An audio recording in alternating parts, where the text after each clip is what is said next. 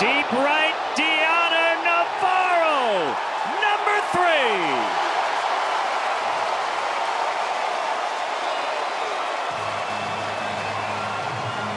Who does that? What a day he's having.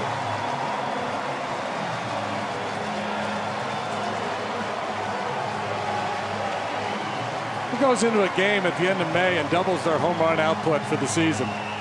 That guy does. Kisses all the way around. He got that 2 0 fastball, and indeed he was more aggressive. Well, this rivalry began, and they want a curtain call. Absolutely. Get out there, big fella. This rivalry began in 1997 in interleague play. and This is going to go down as one of the best